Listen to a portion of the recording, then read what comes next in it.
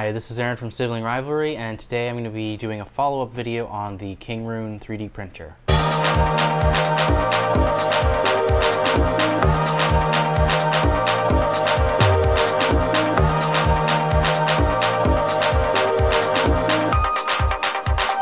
machine that can make copies of almost anything. So I initially purchased one of these printers about two months back now, and I promised at the time that I was going to do a follow-up in the coming weeks, and technically I guess this is the coming weeks. So I've had a bit of time to use this printer, and I've actually purchased a second printer uh, the, of the same printer design, and I, generally speaking, I really like this printer. So it's just a standard FDM printer, standard Cartesian. Out of the box, it works which is something that's a little harder to say about some really bargain basement printers, especially the price range that this came in at.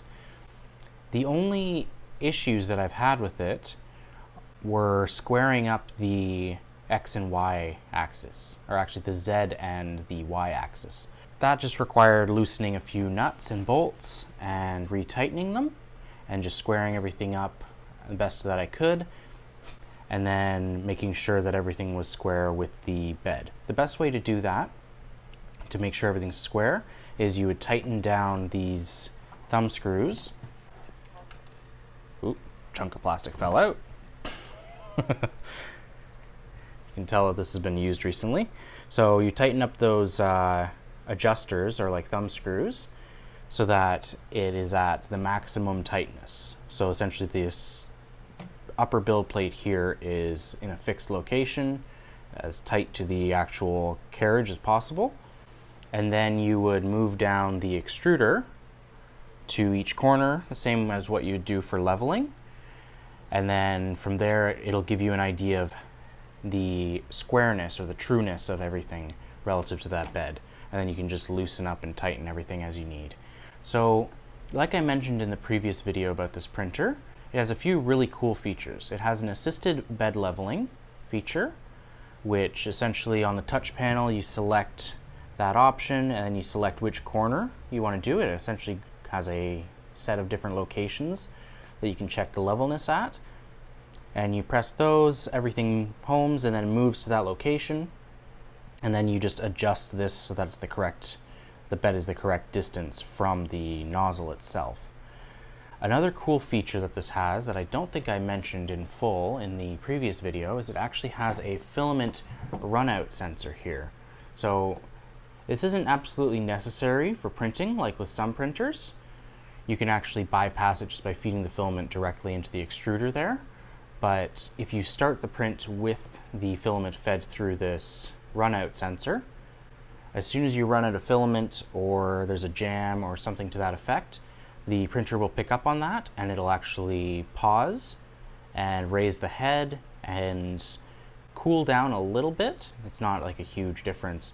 So it'll cool a little bit so that it doesn't melt your print and it'll allow you to go in and do the maintenance that you need to do. So switch out the filament. You can also use this to do filament switches on command if you're using scraps.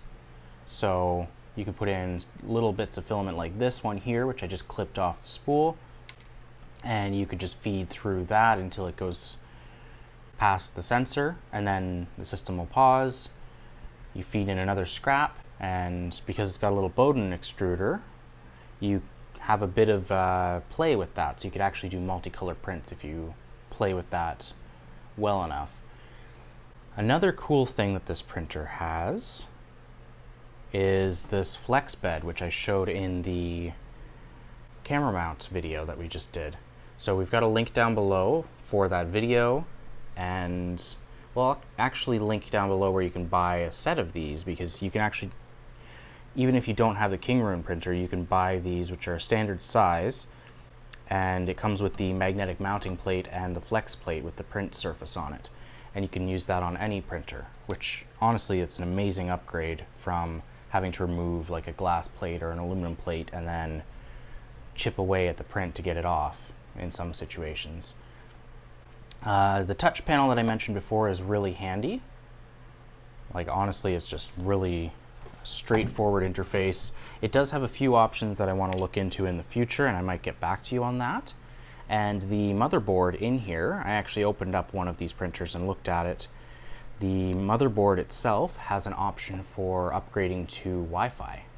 So you can throw in a, I believe it's an ESP8266 module, and the system will actually detect that and you'll have Wi-Fi capability so you can send your G-code to the printer over Wi-Fi. One issue that I've had with one of these printers out of the two that I've bought, the power jack here can come a little loose and sometimes it's a result of the actual power supply, like the plug on the power supply itself comes loose. Other times it seems to be this here, the foil inside of it, like little contacts, aren't making proper contact. So after a while of printing, it will jostle the printer a little bit and then it'll lose contact and then the printer will restart, which is really frustrating because it doesn't count that as a power loss in some situations.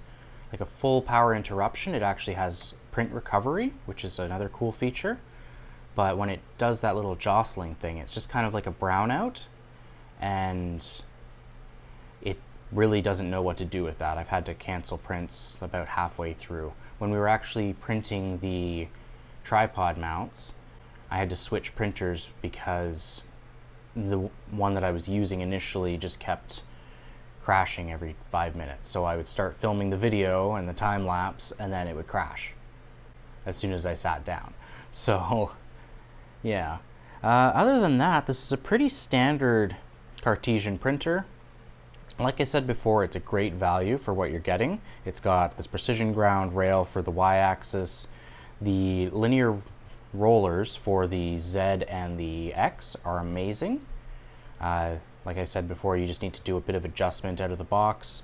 It does print fine out of the box as soon as you square it, but your parts won't be dimensionally accurate until you do a proper squaring procedure with all of the axes. Uh, but like I said before, the price is amazing for this. Even though it has gone up a little bit, I believe it's about $40 more on Amazon than it was when I purchased it. It's around $200. Uh, it's like 197 or something like that when it was 157 when I initially purchased it. So Still a great value considering all the features that it has, and I would definitely say to buy one if you are in the market for a small to medium sized 3D printer that you want that just works after a little bit with minimal tinkering, I should say. So that about sums up the printer here. We might do some more stuff in the future with this. We're definitely going to be filming some more videos based around the 3D printer, so stay tuned for that. Uh, please like if you like this video or like any of our other videos. Comment down below if you have any questions, comments, concerns, yada yada. And please subscribe and ring that bell notification so you get notified whenever we upload a new video. And yeah, thank you for watching. Have a great day.